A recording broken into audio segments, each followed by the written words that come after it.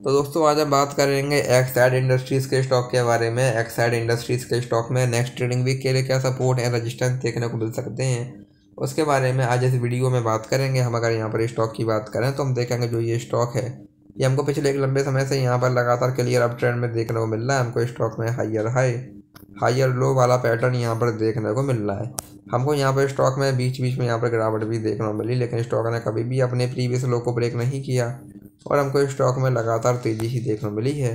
आज भी हमको यहाँ पर स्टॉक में four point eight seven percent की यहाँ पर तेज़ी देखने को मिली है।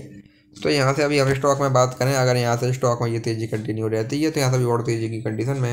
हमारे पास यहाँ पर स्टॉक में फोर सेवेंटी नाइन का पहला यहाँ पर रजिस्टेंस देखने को मिलेगा। अगर स्टॉक इसको भी यहाँ ब्रेक करता है दैन यहाँ से हमको स्टॉक में आगे एक अच्छी तेज़ी, एक अच्छी बाइंग यहाँ पर देखने मिल सकती है। इसके बाद हमको यहाँ पर स्टॉक में फाइव ट्वेंटी फाइव दैन यहाँ से हमको स्टॉक में फाइव सिक्सटी और अगर स्टॉक यहाँ पर इसको भी ब्रेक करता है दैन यहाँ से हमको स्टॉक में आगे सिक्स हंड्रेड एंड देन यहाँ से हमको स्टॉक में सिक्स फिफ्टी तक के लेवल्स भी यहाँ पर देखने को मिल सकते हैं।